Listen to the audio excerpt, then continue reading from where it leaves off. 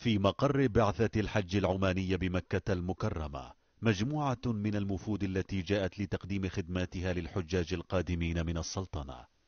التقينا بأحد هذه الوفود وهو الوفد الكشفي للتعرف على الخدمات التي يقدمها للحجاج. الوفد الكشفي يقوم بعدة أعمال مهمة. طبعا تتمثل في عملية التنظيم وترتيب وأيضا إدارة المرتادين لمقر البعثة. كذلك عملية تسهيل وصول الخدمات المقدمة من قبل البعثة للحجاج. كذلك عملية تسجيل الحجاج تسجيل حملات وشركات الحج التي تأتي إلى مكة.